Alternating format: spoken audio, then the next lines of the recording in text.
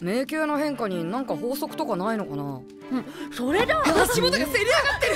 降りろ降りろ。えいた危ない危ない戻れなくなるとこだったキラリントやあそこに駆け込めとにかく相手をひるませればそれでいいんだ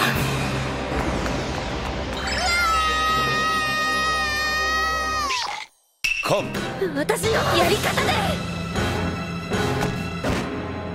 学校始まって以来の才女。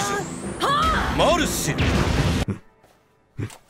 よし。これでいつ石化しても大丈夫。マルシル。柔らかい。